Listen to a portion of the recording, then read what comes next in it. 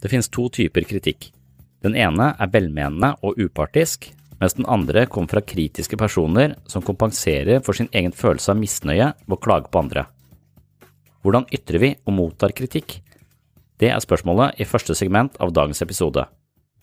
I andre del skal du få være med til Østfold.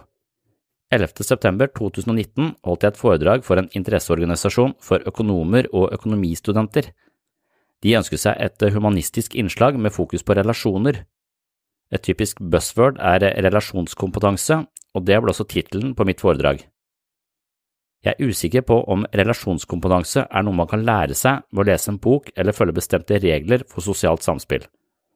Dersom strategien er å lære seg sosiale koder, høflige fraser, forførende kroppsspråk og andre mellommenneskelige triks, så tror jeg man risikerer å bli en forferdelig person.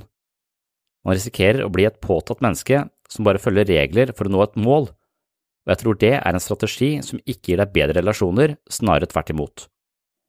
For å være en person som kommer godt overens med andre mennesker, lønner det seg ikke å spille et spill, men være oppriktig.